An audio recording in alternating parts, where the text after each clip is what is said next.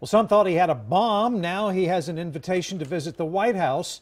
That about sums up a North Texas high school student's day after he took his invention to class. KXAN's Amanda Brandeis explains how he started out in handcuffs and is now getting so much support.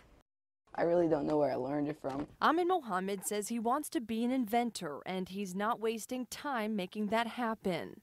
But his latest invention led to his arrest. I took it to school to show my teachers the talent that I had. I want to show them.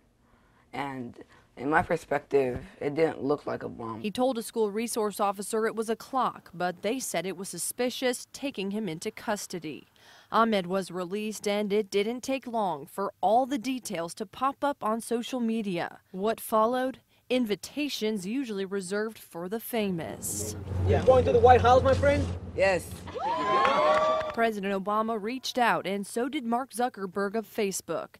And on Twitter, the hashtag I Stand With Ahmed is trending. I never thought I'd get this far, but since I have gone this far, I will try my best not just to help me, but to help every other kid in the entire world who has a problem like this. As for the police, they say they acted out of caution. Obviously, we'll re review this as we do any high profile incident of any nature.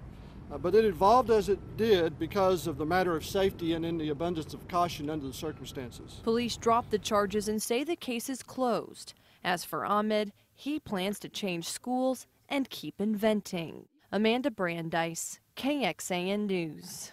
Irving police, where this happened, also say they have an outstanding relationship with the Muslim community and they are committed to continuing to build on that.